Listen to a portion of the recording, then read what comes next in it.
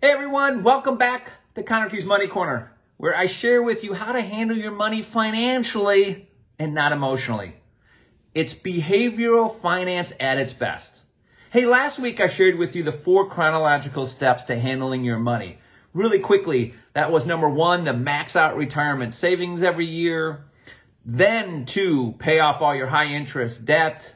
Then three, accumulate a six to 12 month rainy day fund. And then four, invest outside of your retirement plan.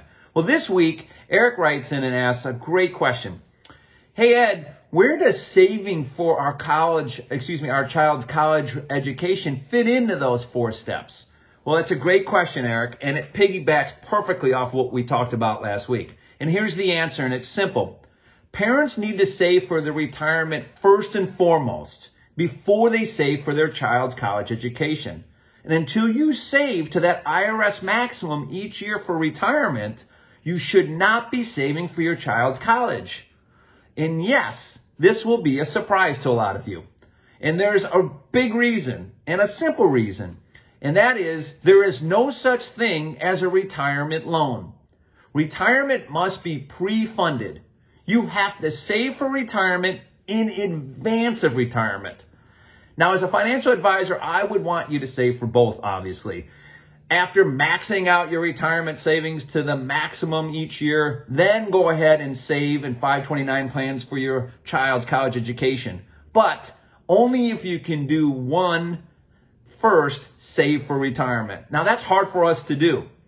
The best analogy here to talk about this is what we hear when we're on a flight. When a flight attendant gets on the intercom and says, Parents, put your oxygen mask on first. Here, parents, save for your retirement first. Now, this is something that we parents all struggle with. We love our kids. We want the best for them. In fact, we want it better than it was for us. And we tend to, when this topic comes up, look back and see what our parents did for us. If they paid for us, we feel obligated to do the same for our children. But the reality is the cost of college has changed dramatically over those past 30 years. While average U.S. inflation annually for the past 30 years has averaged 2.32%, average annual U.S. college inflation has averaged 5.23%, more than double. And as a result, college costs have quadrupled over those last 30 years. Remember, if we handle our money decisions the way our parents handled theirs, we will fail where they succeeded college money decisions made 30 years ago are completely different than college money decisions being made today. And over the years, I've seen a lot of this. Parents falling victim to saving aggressively for their child's college, but at the expense of them not saving enough for their retirement. Yes, their child gets through college, but they lack enough money now to retire. So what do we do here, right? Well, first of all, we need to remember something very important when it comes to this college decision, and that is college is an investment. And if with any investment, we need to focus on the rate of return of that investment. Think about this. If you make the same amount of money, if you regardless of what you invested, if you invested 20,000 or 50,000, you're going to make the same amount of money, then only invest the 20,000. Financial advisor and personal finance expert Ric Edelman has the best quote on this. While it's long, it's powerful. And here's what he says. When it comes to college, there's an attitude of, I got to do whatever it takes to get into the college that I want to go to, which is crazy from a financial planning perspective. What you need to do is say not, how much do I need to borrow, but rather, what can I do to reduce the amount of money that we're spending on this degree in the first place? Think about it. If your kid said to you, I need a car, right? Your, your parents, if, if you were the kid and you said that to your parents, your, your parents wouldn't say, yeah, you're right. You do need a car. Let's go buy one. We're going to let you choose the car that you want to buy. You want to buy a Rolls Royce? Not a problem. We'll do whatever it takes to figure out how to pay for it. We wouldn't do that with a car. Why today do we do that with college?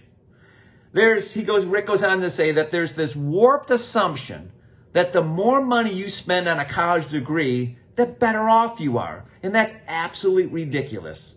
Of course, there are some fields and professions where that's true, but for the overwhelming majority of college students today who are going to enter ordinary careers and fields of study, paying $150,000 more for a degree than necessary is not going to translate to economic value to you.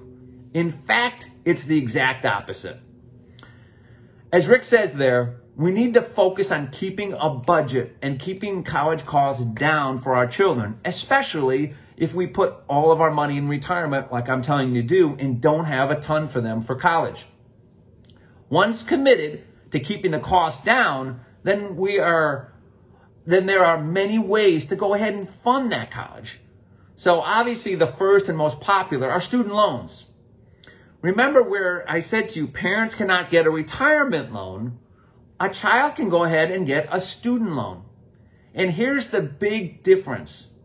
The student has a 40 year working career to pay that loan back, which we no longer have that much time because at our ages, retirement's going to be a lot sooner than that. Another option, other than student loans, is getting a job with a company. A company that helps you pay for college. Some of those companies include Starbucks, Amazon, Chipotle, Walmart, T-Mobile, and Papa John's, just to name a few. I saw a recent article listing 36 U.S. companies that help pay for college for their employees. A third option, which is gaining popularity, is have your child go to a two-year community college to knock out the basics and then finish up at the four-year university. This will cut your cost in more than half. And finally, we know of several students that are taking advantage of the college ROTC program, having all of their college paid for. So this is the time we need to explain to our teenagers how money works and how expensive going to college is these days than when it was when we went. The challenge we face is that 18 year olds typically don't and can't comprehend this. This is where we need to let them know.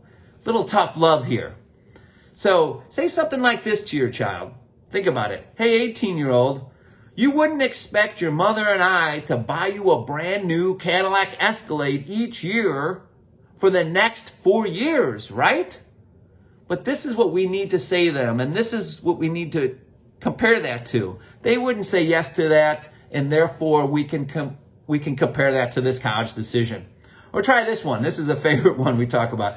Let your child know that they can go to any college they want to go to, but be prepared for your mother and I moving in with you, your spouse, and your children when we retire.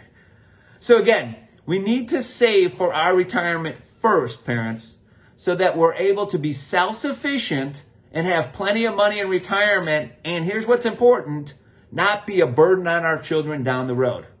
And this then forces us to do what we say, make college decisions within a budget while we maximize our retirement savings.